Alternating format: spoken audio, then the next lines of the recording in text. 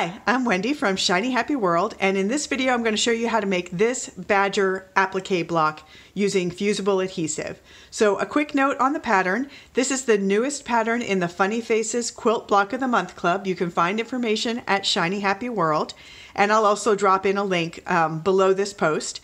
But if it's because it's a club, it's a little bit of a timed release. So if you are in the club, right now, that is from January 15th until February 14th, the pattern for this is going to be in the clubhouse. If you're not in the club yet and you're looking at the and you're seeing this video in that time window, if you join the club now, you get immediate access to the pattern.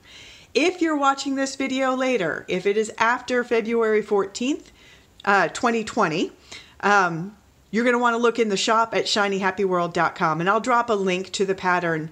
Uh, once it's listed in the shop, I'll drop a link to uh, where you can find that uh, in the description at the bottom of this video. So for right now, here's how to make it. Okay, before we get started on actually layering the pieces in, I did want to talk briefly about the pattern because this one's a little unusual. Almost always I'm able to fit all the pieces for one of my blocks onto a single sheet of the fusible adhesive. This is Heat and Bond like, that light, that's the brand that I use. Um, this one, because the eye patches are quite large on a Badger, I had to print it on two sheets, but I just wanted to give you a little tip for saving some space. I put all of these pieces up in one half of the page, kind of shifted them up at the top, so that if you're printing out multiples of these, like maybe you want to do a quilt that's all different Badger blocks, um, you can turn this page over and feed it through a second time and get another block's worth of eye patches and inner ear. So just that's a little tip on how you can conserve some of the paper because these printable sheets are a little expensive, but they are, I think, 100% worth it because I really hate to trace. So that's just a quick tip on saving sheets um, on your fusible adhesive. So now let's talk about the pattern pieces. So I've got my block here. As always, I use Quilt As You Go and I have a different method for it than most people use.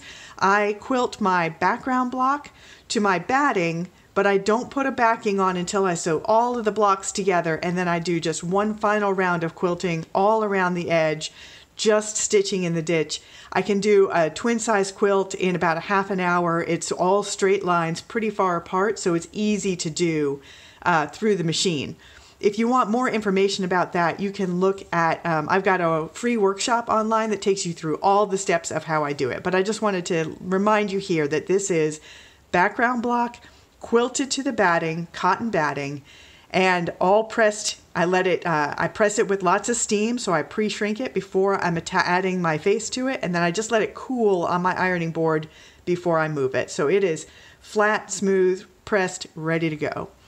Here are all of our pieces, and I do want to take you through the pieces for the badger and talk a little bit about coloring because badger coloring is a little different from some animals. And I'm just going to talk you through it and also um, what all the pieces are that you're going to have. So the main piece that you're going to have is the head. And I decided to do the head all one piece and then just lay the eye patches over it.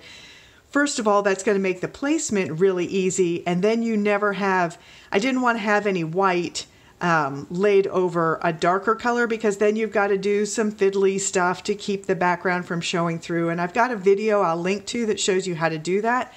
But to make things super easy, the actual construction of this block, I've got this so that we've got um, the head is all one piece. So you've got the head. Um, you're going to, let me back up a second. So the first thing you're going to do after you print out all of your pieces, you're going to roughly cut around them and fuse them to the back side of the fabric. And when I say rough cut, I mean you're going to cut all the way around the piece and you're going to leave a little paper all around the edges. And you'll leave a little extra extra wherever there's a dotted line, and you'll see why in a second. So the reason you do this is when you fuse it down, now that adhesive goes all the way to the edge of the paper, so that when you cut the piece out a nice clean cut, you have the adhesive going right up to the very last thread of that cut piece. So rough cut the pieces all out, fuse them to the back side of the fabric, and then go in and do a clean cut. And a clean cut means cut right on the solid line and leave a little extra wherever there is a dotted line. And I'll show you here is a piece with a clean cut, and this piece beyond the dotted line is where it's going to tuck behind the head. So here are the pieces that you've got, and we're going to talk a little bit about color. So the badger's face is primarily white. If you're doing a different colored block, like maybe shades of pink, which I'll show you at the end of this video, your lighter color is going to be the face. So we've got a face piece, and then we've got two eye patches, and those are going to be in your darker color. Here they are in black. Now, these two pieces you can see I've marked. Here I've marked the position of the eyes, and here on this one I've marked the position of the nose and the mouth. Do this while your paper is still fused to the back. Hold your picture, hold your cut piece up to a window and just you can you'll be able to see the lines then through the fabric. I don't think you can see them here, but with the light shining from a window shining behind it, you can see that nose and the mouth really clearly through the fabric, even on a dark fabric. Draw a little circle inside the shape of the nose and then draw right on where the mouth is going to be. So that's going to give you your stitching line. I just use a fine tip Sharpie, nothing fancy. So make sure you do that before you peel off the paper backing because once you peel that off, you no longer have that guide. So for this one, I marked the nose and the mouth. And on the eye patches, I just marked the position of the eyes. You've also got a shoulder piece and it has two dotted lines at the top and the bottom where it tucks under the chin and the bottom dotted lines are showing where it lines up with the edge of the block and that bottom edge is going to be um, sewn into the seam allowance. So we've also got a nose, just a solid black nose. And then the ears on badgers are a little weird. On almost all animals, the inner ear is light and the outer ear is dark, but on badgers, they're different. Badgers have white tips at the tops and sides of their ears, and they're black on the inside of the ear. So um, I found it really hard. I did this wrong several times. Um, just kept forgetting and fusing it on the wrong way. So the bigger parts of the ears are the lighter color. The smaller ear triangles are the darker color. Then you also have two eyes, which I do all of my eyes and noses in solid black. Now the trick with a badger is if I put this black eye on a black or a nearly black background, this is actually a very dark gray, but it's so dark that you would not see that eye. So your pattern also includes two slightly larger ovals, and those are for if you are doing a natural colored badger, you're going to want to put a little bit of a lighter color behind your eyes so that your eyes will show up. Let me put that a little bit closer to the camera and you'll see this in more detail later. I don't use white around the eye because I think when you have whites around the eyes, your animal looks scared. Even if he's got a smile on him, whites around the eyes are kind of a universal animal world, I'm scared. So I just use a slightly lighter version of whatever the background. So this is in the warm neutrals bundle, which is where I pulled these grays and whites from. This is just the next darkest gray. It's just light enough that that eye will show on it and it becomes a little bit of, of, a, of a division between there. If you look at actual photos of badgers, you actually usually can't see their eyes. So, um, but for our blocks, we want to emphasize the eyes a little bit.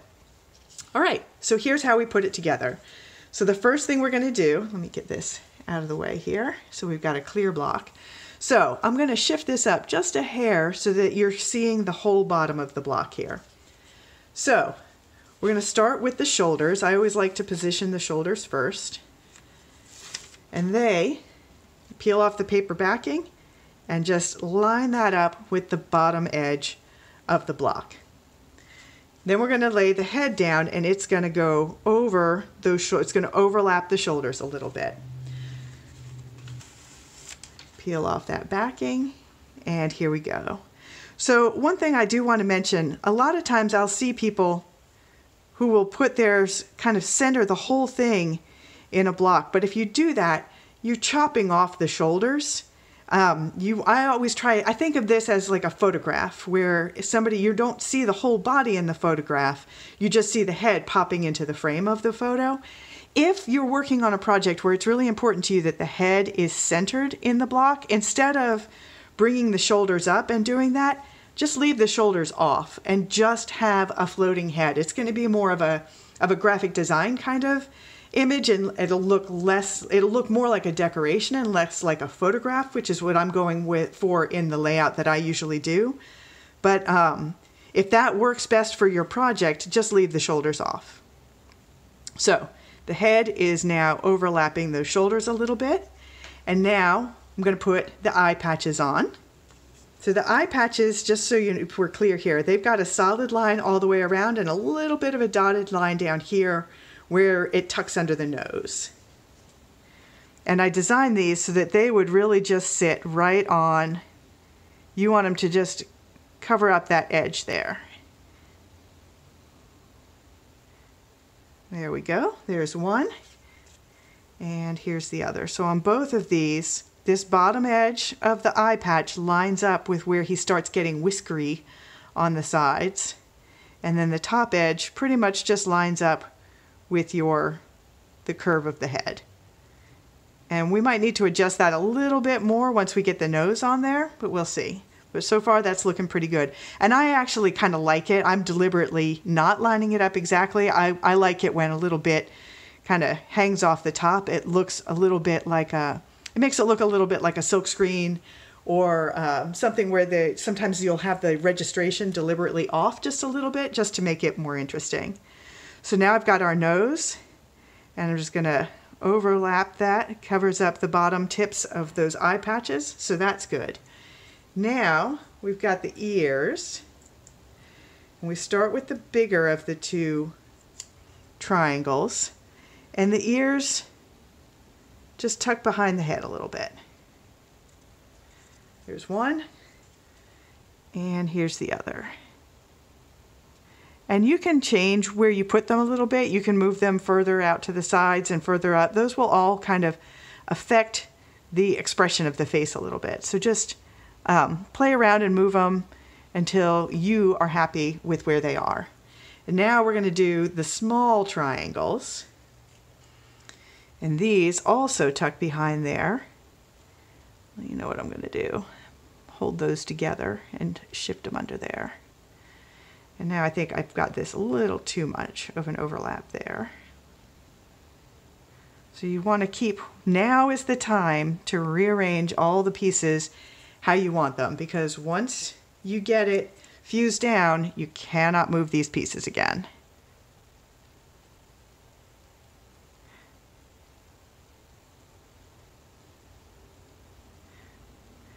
All right. So if you look at photographs of badgers, whoops, shifted that more than I wanted to. If you look at photographs of badgers, these the inner ears really are just kind of a continuation of the the patches over the eyes. So I'm trying to line up the edges of these ear triangles with the edges of these patches, roughly. They don't have to be exactly, but that's how you get that distinctive kind of swoopy look that they have to their patches. A second, I need to adjust my nose a bit. I bumped that.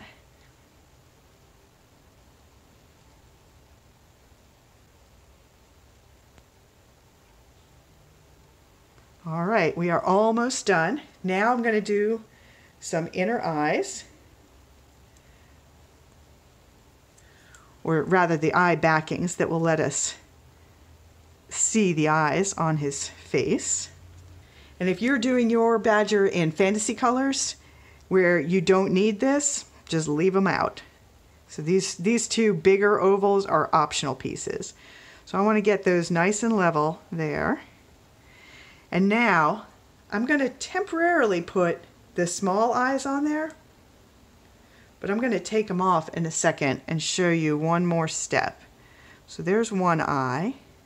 So I'm putting him on there now just so I can see when it's just the lighter colored eye, he looks a little, uh, a little creepy, I think.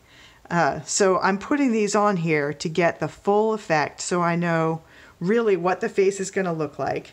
And I am happy with all of that layout. I think I want to just tip this nose just a little bit there. Shift this over just a hair. Shift his nose over just a little bit more. All right, I like that. So I'm going to take this over to my ironing board and fuse it down, but I want to take off these dots, the, the center pupils first. So what I'm going to do, I'm going to fuse all of this down and then I'm going to go back to my sewing machine and I am going to stitch around just these inner eyes in a matching gray thread. Normally I outline everything in black, but I don't want to outline these in black because they really are just a background to these eyes. I don't want to emphasize that shape at all. I just want it to kind of disappear and just exist to highlight that eye. So I'm going to take it to the machine and I'm going to just stitch around those eyes and then I'll come back and I'll do a second round where I'll fuse the black pupils down. So I'll come back in between and show you that step. Okay, so here we go. I have got the the lighter circles for around the eyes fused down. Now I'm going to pull that up closer so you can see. So I fused everything down and then I went and with a matching gray thread, I stitched around the eye. Now that I've done that, I'm going to put my eye dots back on.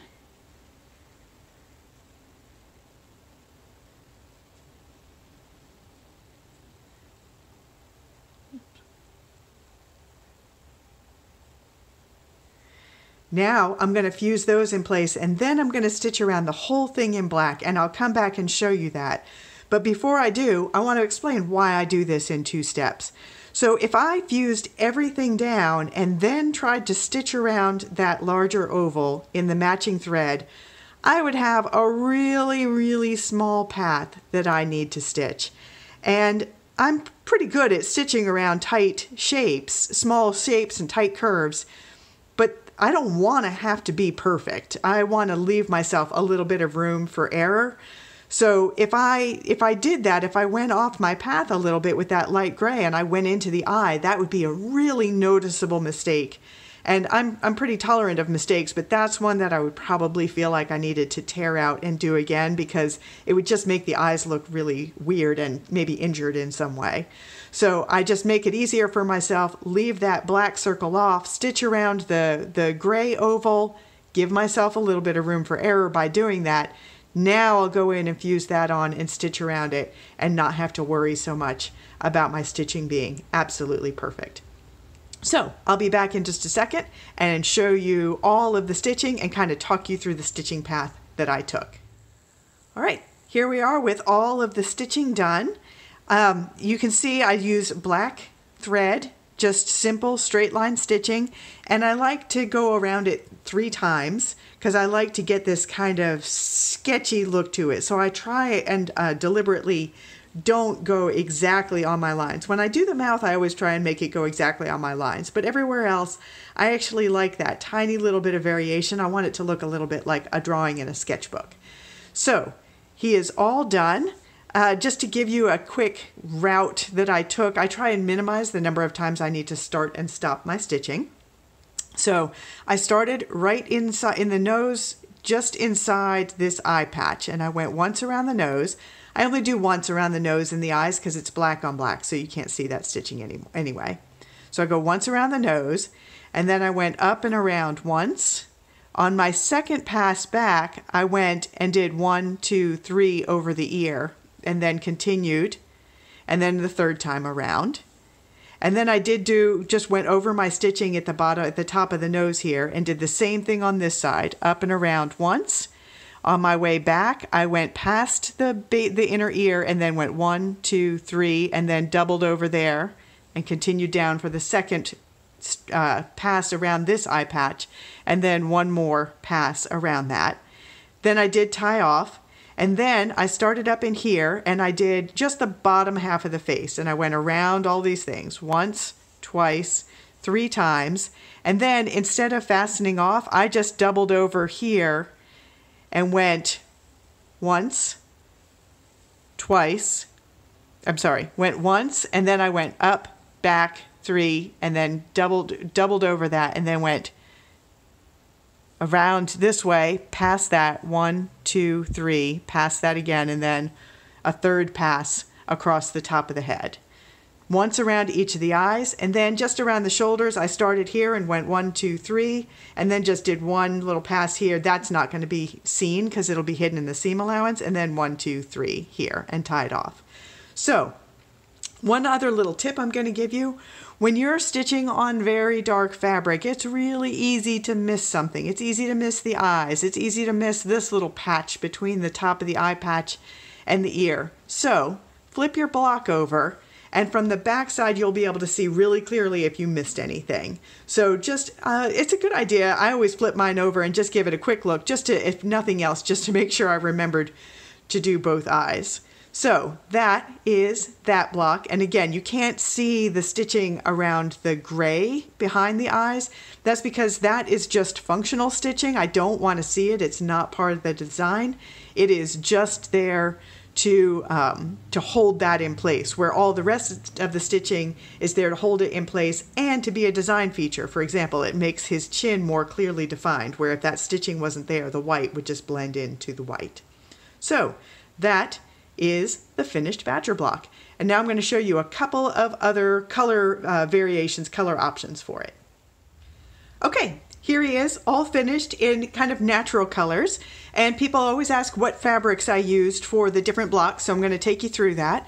Um, the background is from the Rainbow Sherbert background fabric bundles.